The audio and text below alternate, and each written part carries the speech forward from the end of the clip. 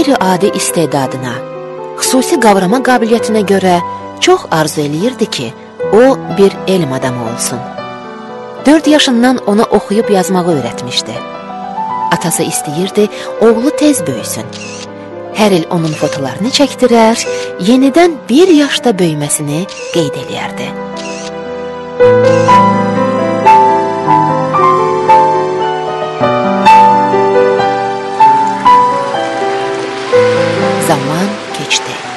O istedadlı oğlan atasının yox, öz arzusunun dalıyca getdi və sübut elədi ki, yenidən dünyaya gəlsə, yenə sevərəkdən bu sənəti seçərdi.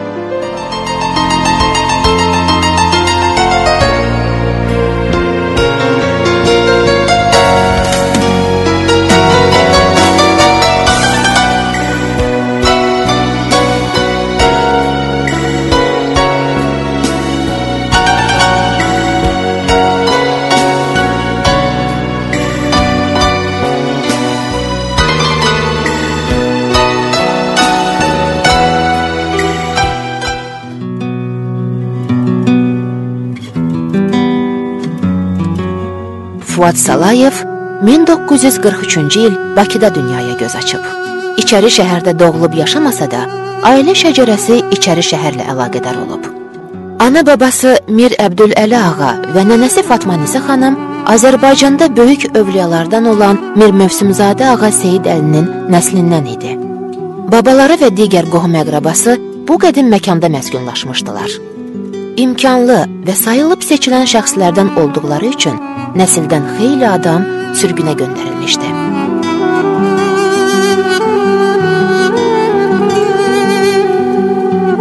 Atam mənim elmi işçi olub. Atamın adı Məmməd Əmin Salayev. O Elmlər Akademiyası müxbir üzvü seçildi. Anamın adı Ədilə idi. Ədilə həkim olub. Müharibənin əvvəllərində Sevastopolda həkim kimi çalışırdı. Ailə qurandan sonra anam Bakıya qayıdır.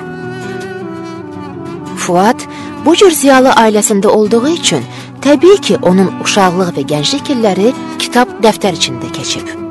1951-ci ildə Fuad məktəbə gedəndə artıq əməlli başlı yazıb oxumağı bilirdi. Bizim ailəmizdə mən tək uşaq deyildim. Mənim bir bacım var, Bilqeyis xanımdır. O musiqi ilə məşğul idi. Konservatoriyanı bitirdi. Bir qardaşım da var. Fərid Salayev fizikdir.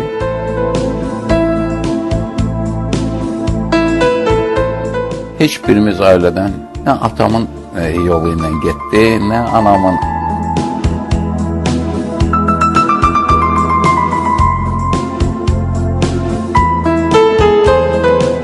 Mən 7 yaşından bir il musiqi məktəbə getmişdim və mənim bir balaca skriptam var idi, onu çalırdım. Sonra bir ildən sonra məni atam apardı 6-cı məktəbə. O vaxt qarışıq məktəblər yox idi. İki məktəb idi və 6-cı məktəb çox belə nizam intizamlı məktəb idi. Beləliklə mən orada 4-cü sinifə qədər oxudum. 4-cü sinifdən məktəbləri, oğlan məktəbi və qız məktəbini qarışdırdılar hamını belə oldu bir məktəb. Uşaqlıq vaxtında sərgiləri gedirdik. Mən çox xoşlayırdım. Özüm nəsə düşünüm, nəsə düzəldim. Sonra başladım e, balaca bir eskiz fason nəsə yaratmaq.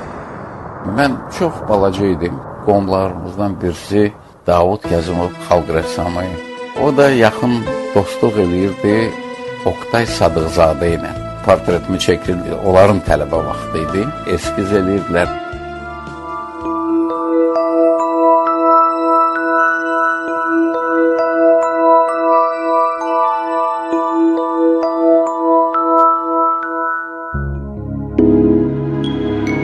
...1958-ci ildə Fuad 8-ci sinifi bitirib Sənədlərini Əzim Əzimzadə adına rəssamlıq texnikumunun heykəltaraşlıq şöbəsinə verdi. Mənim müəllimim birinci kursdan mərhum Cəlal Qarayaqlı idi. Çox talantlı bir heykəltaraş, gözəl bir insan. Cəlal müəllim birinci günündən işlərimə baxırdı, həvəsləndirirdi.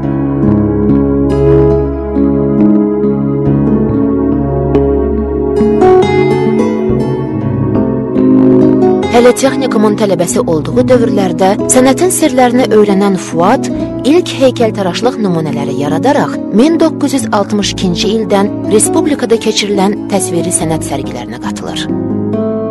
Diplom işlərim mövzusu plastik cəhətdən həcm fəza məsələsi orada qoyulmuşdu. Onun adı e, istirahət idi. Beləliklə mən 64-cü ildə Azərbaycan Dövlət Rəssamlıq Məktəbini fərqlənmə diplomu ilə bitirdim.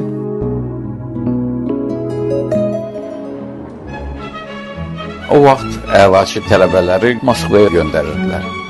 E, mən təqdimat aldım ki, gedim Bakıdan oxumağa. Moskvaya Surikov adına instituta. Atam xəstələndi. Mən də evdə böyük oğul. Mən qaldım Moskvaya getmədim və Mən o vaxt 64-cü ildə Azərbaycan Dövlət Universitetinə daxil oldum, Şərq Şurnas fakültəsinə. Bir il orada oxudum Fars bölməsində. Bizim gözəl bir müəllimimiz var idi, Əhməd Şəfai.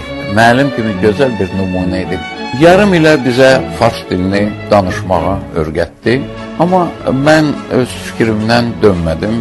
Atam elmi işçidir, istəyirdi ki, mən də elmlə məşğul olum fikrini demişdi ki, mən istəyərdim ki, sən elmlə məşğul olasan belə. Amma mən fikrimi deyəndən sonra adam təzyiq görsə, mən oxumaq istəyirsən, ged elə.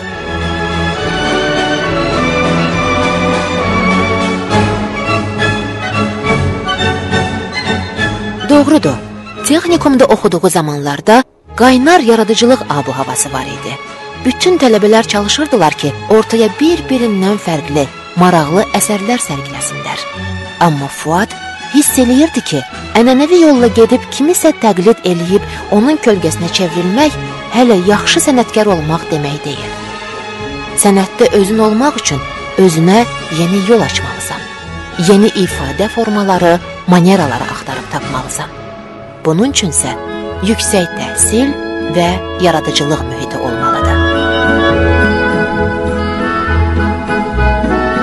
Bir ildən sonra mən sənədlərimi götürüb getdim Surikov adına Moskva Dövlət Rəssamlıq İnstitutuna və orada daxil oldum. Amma daha o təqdimatım yox idi, özüm getdim. Birinci kurs mənim müəllimim məşhur o vaxt SSR xalq rəssamı Lev Kerbel dərs verdi. Sonra isə 3-cü kursda mən studiya keçdim. SSR xalq rəssamı Nikolay Vasiliç Tomskinin studiyasında axıra qədər ali təhsilimi bitirdim orada ikinci professor Mixail Fyodorovich Baburindir. Onların emalatxanalarında olmağı, canlı ünsiyyət qurmağı bir heykəltaraş kimi yetişib formalaşmağında mühüm rol oynadı.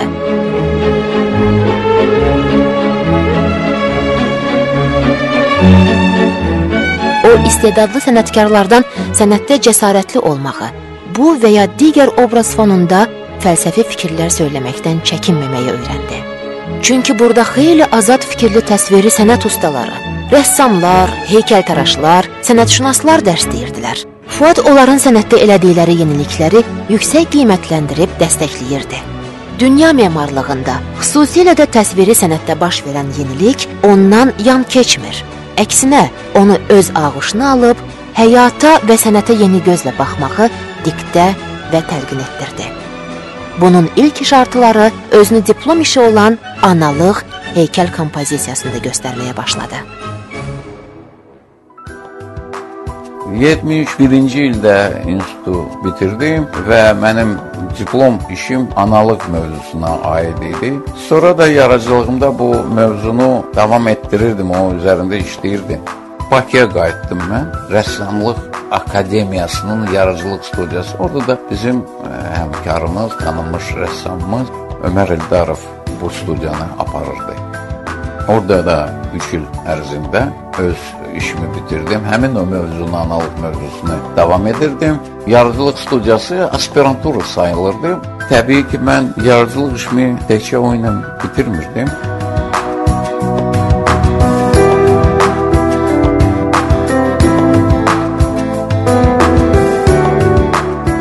Məqamlarda Fuad Salayev anladı ki, onun gələcəyi bu yeni sənət yolunda elə də asan olmayacaq. Bu yolda onu daima böyük çətinliklər, haqlı-haqsız tənqidlər müşahidə eləyəcək.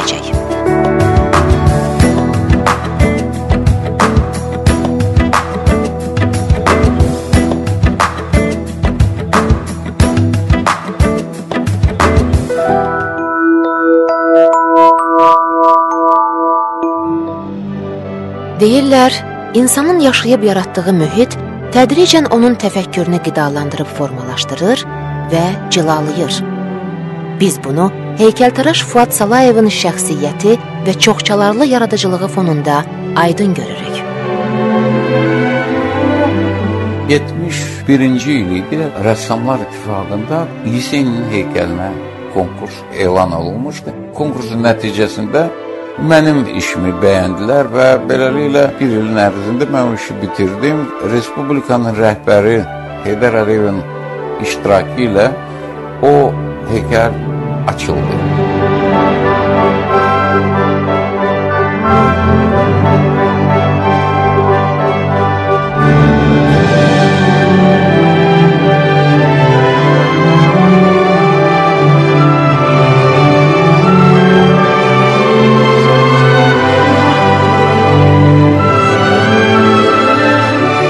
Sənət aləmində ənənəlikdən uzaq olan yeni istiqamətli, yeni biçimli, yeni ovqatlı əsərlərlə görünməyə başladı.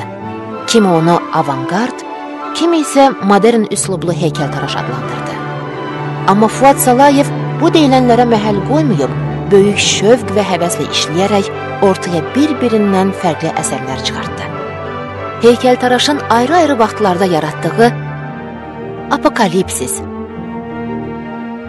Atlı, Akademik Azad Mirzəcanzadə, Tarazlıq, Mənəvi yüksəliş, Qarabağlı Məhəmməd, Gülarənin portreti, Havada uçuş, Həlak olmuş neftçilər, heykəl kompozisiyaları dediklərimizə canlı misaldır. Təbii ki, bu heykəllər arasında romantik üslubda olanlar da var, amma əksəriyyəti avangard üslubunda işlənmişdi.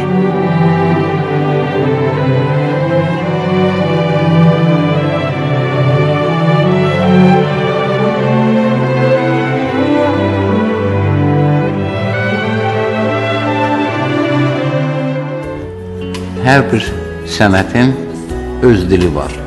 Bizim dilimiz plastika dilidir, heykəltaraşlıqda.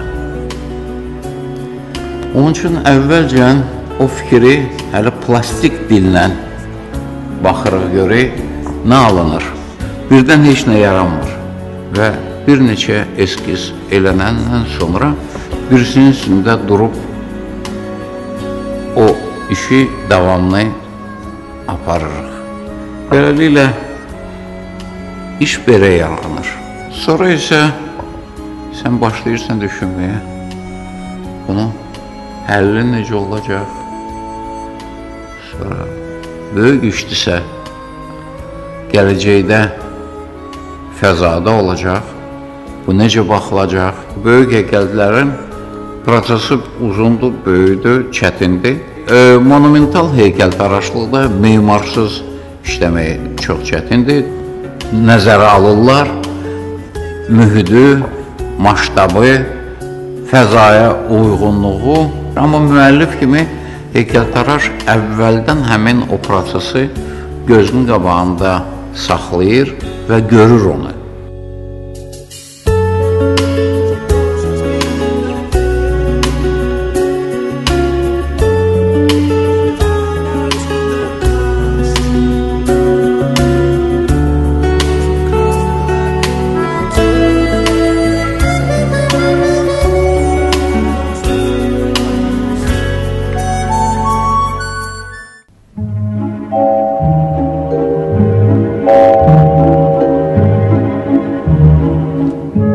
Heykəltaraşın bir neçə əsəri müasir İncəsənət Muzeyinin ekspozisiyalarına daxil edilmişdir. Cənnət qapısı. Meditasiya Kələfin ucunu axtaranlar. Küləyin səmtini dəyişən. Antiteza. Seyr edən Simvol ilə mayili güllə. Müasir İncəsənət Muzeyi Azərbaycan xalqı üçün böyük bir yenilik oldu. Bu böyük bir təşəbbüsdür. Baxıcı da yeni bir gözlə, yeni bir düşüncə ilə münasibət göstərdi buna.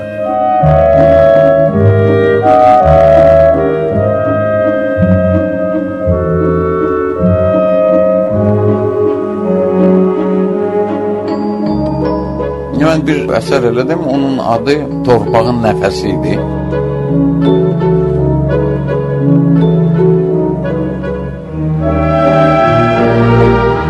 Bakıda nümayiş olundu o. Yarat Yaradıcılıq Təşkilatı bizi dəvət eləmişdi həmin festivalda iştirak etməyə. Bir qrup rəssamları.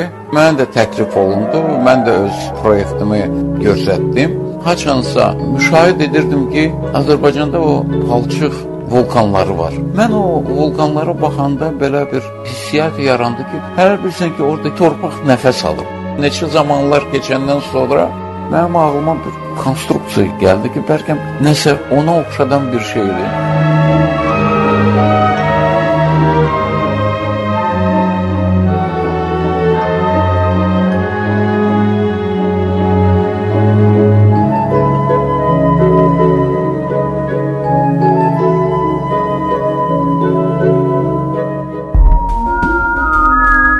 Milli İncəsənət Muzeyində və onun önündəki akrobatlar kompozisiyası sözün əsl mənasında insanla fəzanın müəyyən olmuş vəhdətini yaradıb.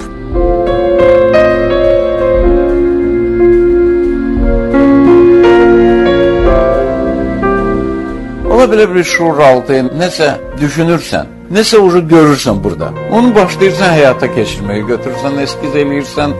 Bütün əsərlər belə yaranır və ə, nəsə həyatdır. Siz yaşayırsınız, sizin qəlbinizə nəsə girir. Siz o barədə başlayırsınız düşünməyə. Rəssamlardır, heykəltaraşlardır. Gözünün qabağına təsvir gəlir. Təbii ki, tamam aydın şəkildə gəlmir o. Bir düşüncə kimi gəlir, bir forma kimi gəlir. Təbii ki, sözlə çatdırmaq biraz çətindir.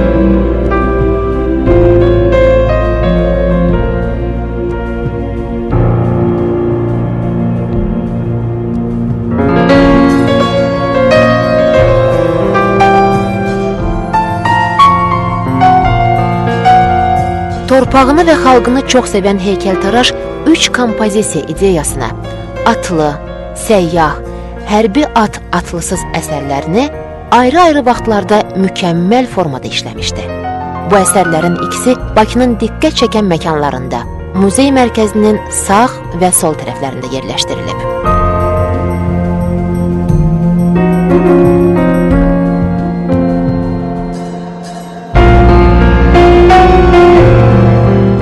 Bütün dövrlərdə sənətdə bu cür qabaqcıl düşüncəli insanlar olub. Onların başlıca məqsədləri klassik təsvir normalarından imtina eləmək, yenilik yaratmaq, sənətə daim yeni forma, məzmun, ifadə yeniliyi, təzə nəfəs gətirmək, formaların deformasiyası, müxtəlif düşüncə dəyişiklikləri qurmaq olub. Heykəltaraş Fuad Salayevin üstünlüyü və ustalığı ondadır ki, o İtaliya intibahının ilk sübh çağlarından başlayaraq çağdaş günlərimizə gəlib çıxan klassik monumental heykəltaraşlıqdan yan keçərək milliliyi qoruyub saxlamaq şərti ilə kiçik həcmli, amma böyük fəlsəfi yükləri, tutumları olan heykəllərin ərsəyə gəlməsinə önəm verib.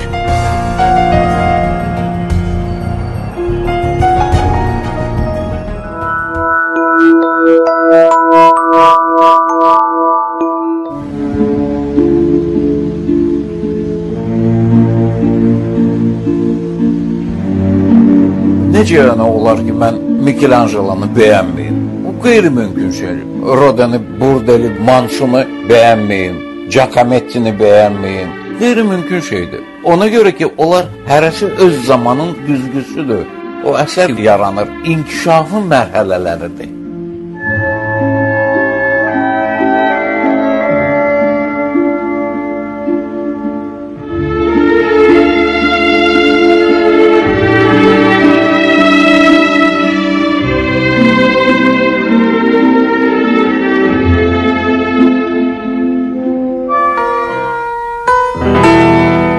Müxtəlif ovqatlı bu heykəllərin həcmi, kompozisiyaları, formaları, icra manyeraları ənənəvilikdən çox uzaqdır. Heykəllərdən aydın hiss edilir ki, tişə ustası əksər əsərlərində oxşuyur ya oxşamır prinsipindən yan keçərək daha çox fəlsəfi fikir yükünün üstünlüyünə önəm verib.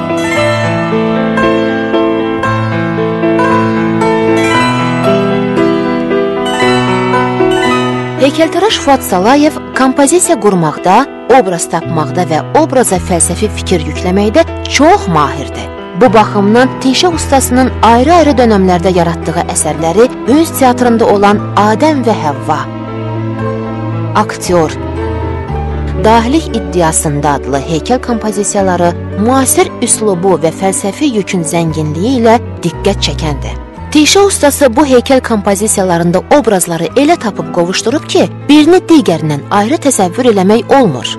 Həmin heykəllərə tamaşa edənlər elə o anda ağılla hissin sıx vəhdətini görürlər.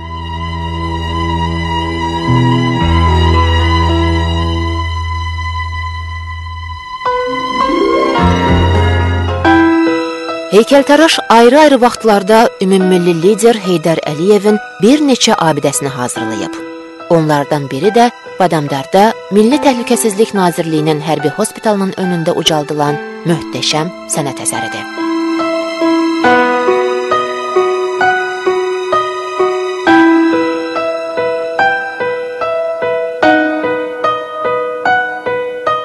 Milli qəhrəman Riyad Əhmədovun adını daşıdığı məktəbdə memorial lövhə və yaşadığı evin divarında olan barelyefi də Fuad Salayev çox dəqiqliklə işləmişdi.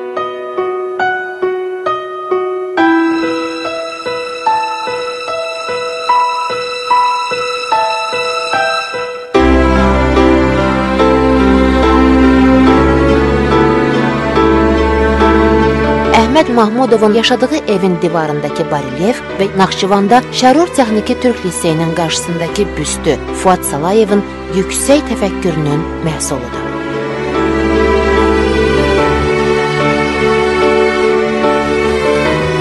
Görkəmli heykəltaraş həmçinin bəstəkar Qara Qarayevin, akademik Yusif Məmmədəliyevin xatirə lövhələrini akademik Azad Mirzəcanzadənin tuncdan olan məzarüstü heykəlini də hazırlamışdır.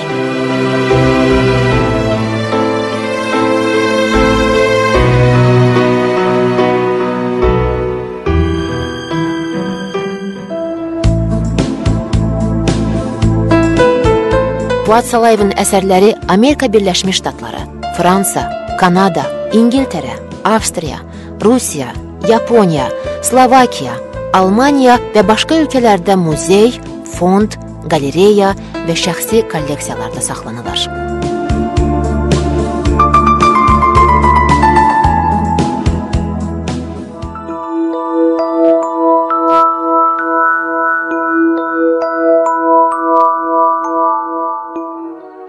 Azərbaycan Dövlət İncəsənd Universitetində mən dərs deyirdim və təbii ki, mən Həmin universitetdən keçdim Rəssamlıq Akademiyasında. İndi də orada təbii çalışıram, oranın professoruyam və elm və yaradıcılıq üzrə prorektoruyam. Bizim akademiyamız ali məktəbdir və öz xüsusiyyətləri var. Tələbələr seçim tələbələri. Tələbələrlə də münasibətimiz bizim həmkar-həmkarla münasibətdir. Bizim xalqımız doğrudan da çox talantlı xalqdır. Hər cəhətdən. Talantlı tələbələrimiz az deyil gələcək üçün yeni nəsil var. Məzunlarımız indi böyük sərgilərdə iştirak edirlər. Bütün dünyada ümumiyyətlə yaradıcılıq pedaqoji fəaliyyətdən ayrı deyil. Biz axı tələbəni təkcə tələbə kimi böyütmür. Biz onu gələcək üçün rəssam böyüdürük. Sən özün inkişafda olmadan tələbəni tərbiyə edə bilməzsən.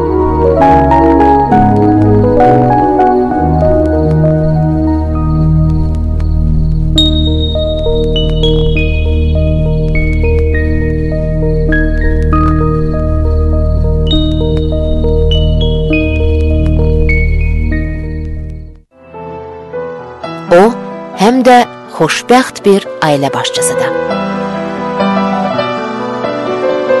Mənim yanımda bir adam olsa mən işləyə bilmərəm. Təbii ki, mənim yaradıcılığımda mənim xanımım, Gülarə xanımın sakitliyi, o mühiti yaratmaq üçün böyük rolu var.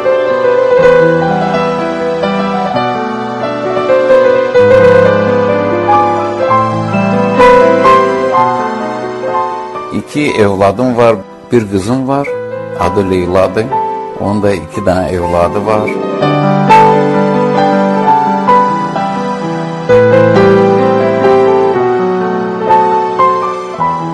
Oğlum da, onun da ailəsi var. Adı Emindir. Qızım da gözəl rəngkarlıqla məşğul idi. Oğlum da heykəltaraşlıqla məşğul idi. Amma sonra özlərinə ayrı bir yol seçdiniz.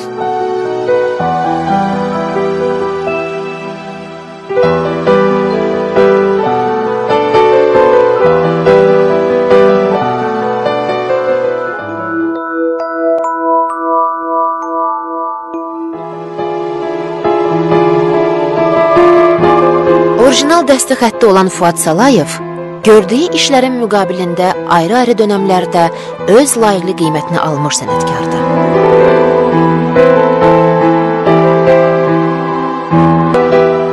O 1975-ci ildən Keşmir Sovetlər dövründən Azərbaycan Rəssamlar İttifaqının üzvüdür.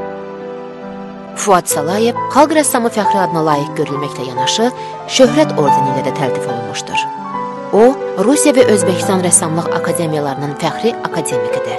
Professor Fuad Salayev 2000-ci ildən Azərbaycan Dövlət Rəssamlıq Akademiyasının prorektorudur. 2014-cü il martın 27-sində isə Azərbaycan Respublikasının Milli Təhlükəsizlik Nazirliyinin yubiley medalına layiq görülmüşdür.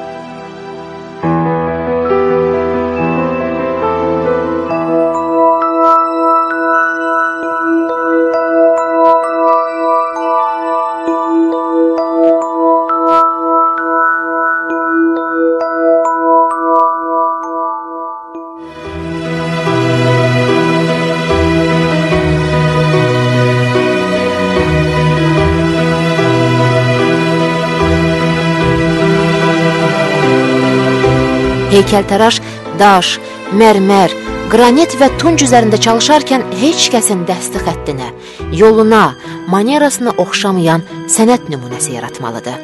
Buna nail olmaqsa çox çətindir. Buna yalnız sənəti qəlbən sevənlər, istedadlı və güclü insanlar nail ola bilərlər. Heykəltaraş Fuad Salayev məhz belə sənətkarlardandır. Onun əsərlərinə baxanlar elə həmin an onların Fuad Salayevə məxsus olduğunu söyləyirlər. Bu, sənətdə sənətkar üçün bütün mükafatlardan ən ucası, ən alisidir.